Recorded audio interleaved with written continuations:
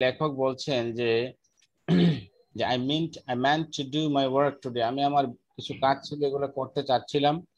কিন্তু আপেল গাছে একটা ব্রাউন কালারের পাখি গান গাইছিল এবং একটা বাটারফ্লাই ফ্লিটেড অ্যাক্রস খুব হালকা পাতলা ভাবে উড়ে যাচ্ছিল, মাঠের মাঠের মাঠের উপর দিয়ে মাঠটা ক্রস করছিল and all the leaves were calling me সবগুলো গাছের পাতা মনে আমাকে ডাকছিল। And the and the wind went sighing over the land বাতাস মনে হয় যেন হ্যাঁ কি বলছে যে এই ল্যান্ডের উপর দিয়ে মনে হয় শাইং ওভার করছিল। Tossing the grasses to and fro বাতাস বইছিল। শাইং ওভার মানে বাতাস বওয়া। মনে হয় যেন বাতাস নিঃশ্বাস ছাড়ছিল। যার ফলে ঘাসগুলো এদিক ওদিক টসিং করছিল। মানে বাতাসগুলো যেরকম হয় গাছপালা কি দুলতে থাকে না? টসিং মানে দুলতে থাকে। And rainbow held out its shining hand এবং এর মাঝখানে আকাশের রং ধনু মনে হয় যেন তার উজ্জ্বল হাতটা আমার দিকে বাড়িয়ে দিল।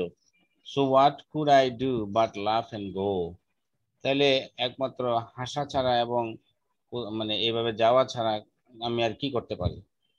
মানে আমার কাজটা গো বলতে এখানে আমার কাজটা বন্ধ করে এগুলো এনজয় করা ছাড়া আমার আর কিছু করার নাই। যে দেখছ না, বাতাস বইছে যে গাছপালা দুলছে এই যে বাটারফ্লাই উঠছে এই যে আপেল গাছ তারপরে এখানে একটা এই যে যে যে পাখিটা গান গাইছে এই প্রকৃতির পরিবেশে কবির কাছে মনে হচ্ছে যেন খুবই সুন্দর। নিজের কাজ রেখে বরং প্রকৃতির ডাকে সাড়া দেওয়াই তার কাছে উত্তম মনে হয়েছে ঠিক আছে? সুন্দর কবিতা। আচ্ছা তারপর দেখেন এখানে আমরা অনেকগুলো শব্দ শিখে ফেললাম।